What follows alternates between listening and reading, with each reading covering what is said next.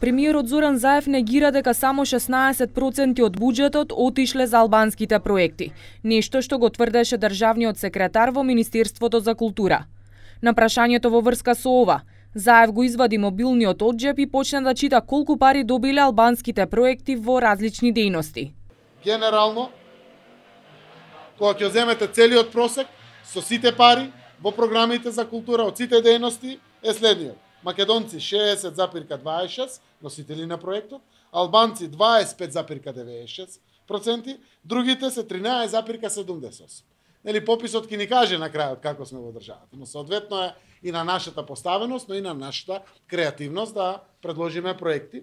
Заменик министерот за култура Седат Сулейманине сакаше да зборува во проценти, но тврди дека буџетот кој издвоен за албанските проекти е многу под 25% како што тврди Заев. Tash ajo është një interpretim i atyre. Shumë lehtë është në të thujmë përqindje edhe ta udhim topin që tërkund. Po nuk është realiteti ajo.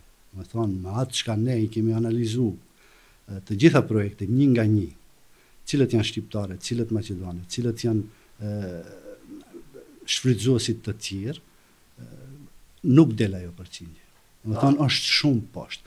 Nuk duhet të shi, të të, të hyjë në në, në përqindje. Сулеймани вели дека пресметките за тоа кои проекти се за албанската култура, а кои за другите, ги направиле врз основа на тоа кој е носител на проектот.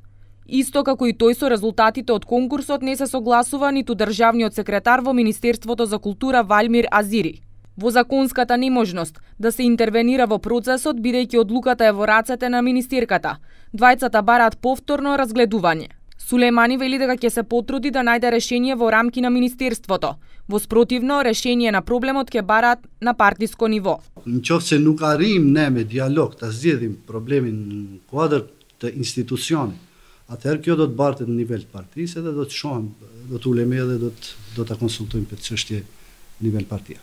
Од кабинетот на министерката за култура Ирена Стефоска, на прашањето за шансите на повторно разгледување на резултатите, пред неколку дена за ТВ21 рекоа дека според законот министерот одлучува за резултатите.